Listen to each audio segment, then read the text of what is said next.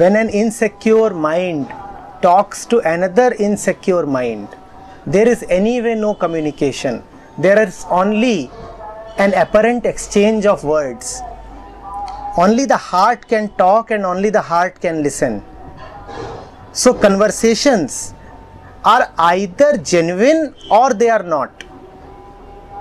Fake communication is no communication. So, when you say that I am afraid of consequences, how do I act because my parents might feel bad? How do I take them into the loop? Please understand that the situation is already very bad. And whatever else happens will be better than this. The key to improvement is to realize that you are already at the rock bottom. Things cannot go any worse.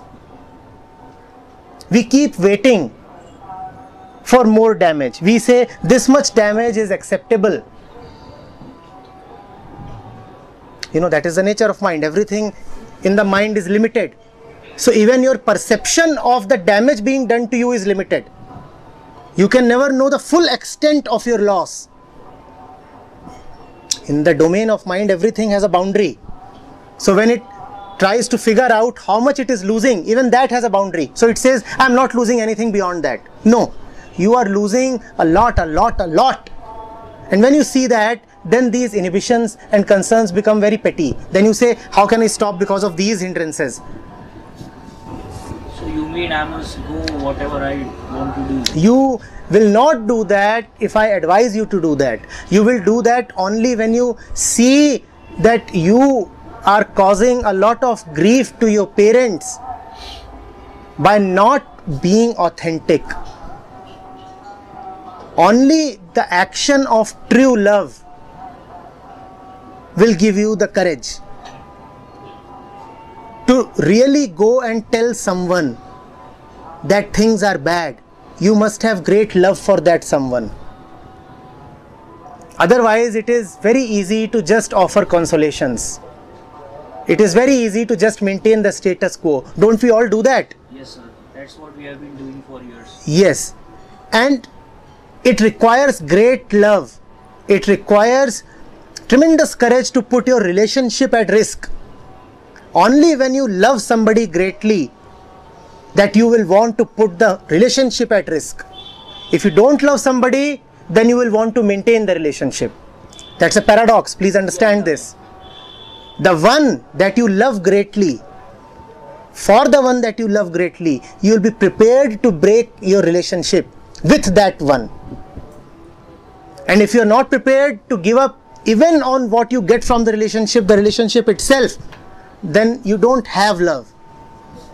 And if you don't have love, then why do you want to do something?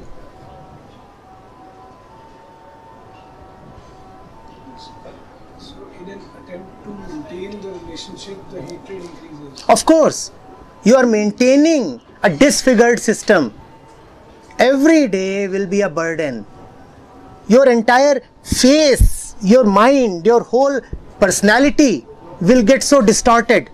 You will not be beautiful anymore. Love never stops anyone. Love, You mean that I must be truly loving my dad and mom, then I must you must first discover that the condition that you are in is not love, even though it is called as love. You cannot force yourself to love. Start with your immediate reality, which is not love. Do not have fanciful projections about what is love. Start with this. What did the what did the lyrics say? What did they say? A little close. Here here. Start from here. What do you know about love? You only know about distances. Hmm